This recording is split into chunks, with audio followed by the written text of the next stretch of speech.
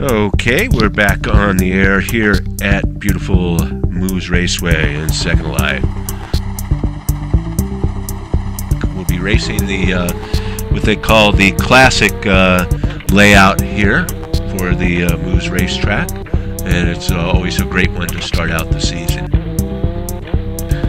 Okay, so I guess the way uh, Moto SL racing works is we'll have uh, groups of five racers, or yeah, five racers going up to the final race, and then we have two racers that advance into the uh, the final race. And let's see, we're now we've got just about everybody sized up. the field is sized up, and we're going to go ahead and get some qualifying here uh, real soon. We're just waiting for a count. Uh, let's see. I think we're going to have uh, 28 possible uh, people queued up. That'd be great. And then uh, we'll be doing uh, qualifying groups, four racers apiece. And, and we're going to start this first round of qualifying here. As we come around, we've got racers are fairly well spread out. Top five are Holden, Crippy, Rico, Annie, and Jaffo. We see a lot of Archer there for some reason. All right, Group 2 is going to be Susie, Ford, Stang, Brave, Just. Group 3, Josephina, Sula, Yamaha, Abacus, Hakuna.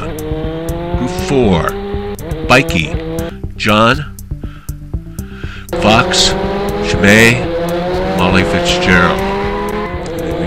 22 qualifiers, and we've got Johnny Gears and Millennium Sands is the one that makes it in under the pummel. Unfortunately, uh, bad news for Zia, Asher, Speed is Life, Lavina, and Ratra. And so it's all about the skill here in uh, race in uh, Moto SL racing.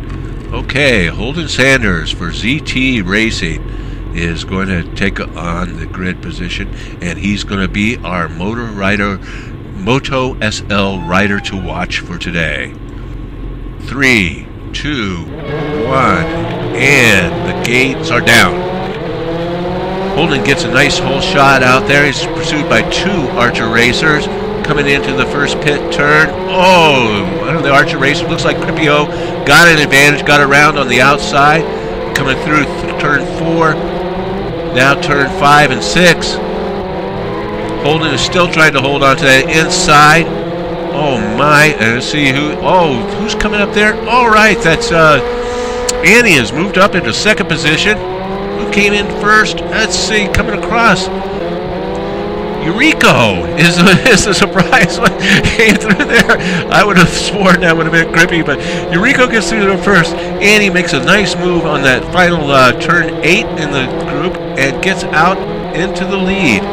All right, it looks like Annie's going to come through the gate first this time, followed by Yuriko. Does it look like Cripio and Let's wait till I actually see the gate. All right, Annie moves through first. Yuriko second. Cripio third. Holden into third. Fourth. Jaffo Tendez into fifth. Susie Cudahy sixth.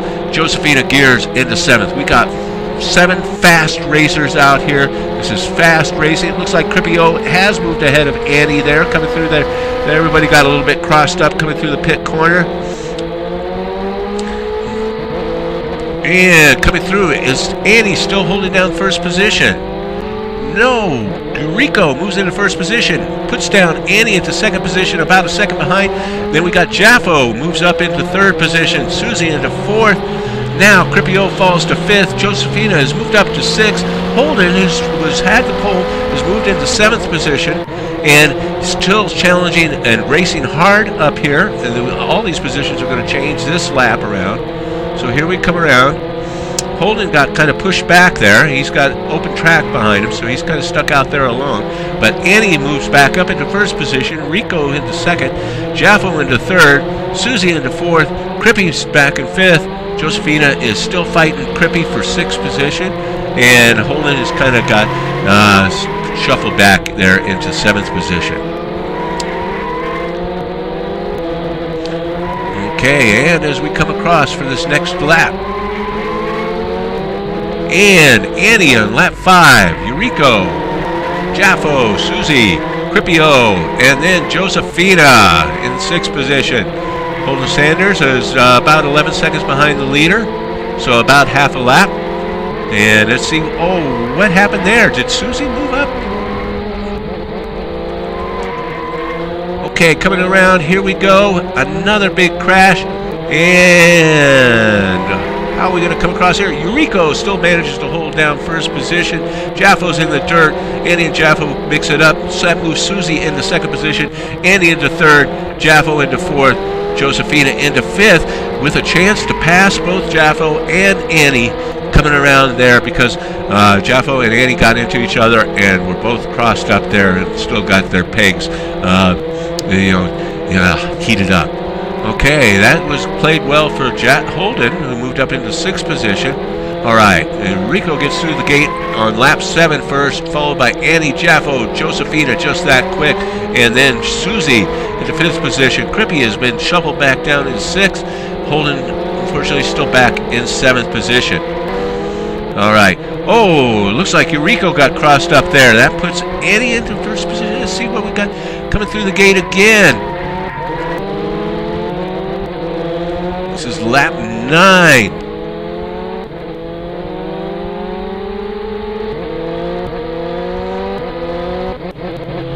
Okay, Holden and Crippy get into it. And uh, that moves Crippy back into, and Holden is charging into sixth position. Kind of lost my place on uh, the way that everything's got shuffled around here. And here comes Yuriko through the gate in first position, followed by Annie. Uh, about five seconds behind her. And then Josephina has moved up uh, two positions uh, over Jaffo and Susie. Crippy in seventh, can you believe it? Holden Sanders in sixth position on lap nine. So Crippy is a, a lap down. We'll see how that plays out. Lap 10, Yuriko gets across the line first, followed by Annie, then Josephina, then Jaffo's hot on the heels of Josephina, and then Susie. And then here we go with Crippy in seventh position, something that you never ever see. Holden Sanders in sixth position. Uh, this is ugly. Another off by, uh, off track for. Uh, boy, I tell you, we've got some uh, real lag and some real off-track excursions here. This, the wet conditions are just, uh, uh, just, uh, just getting horrible out there, and a lot of bikes getting laid down, and uh, it's, it's, it's making positions change all over the position place.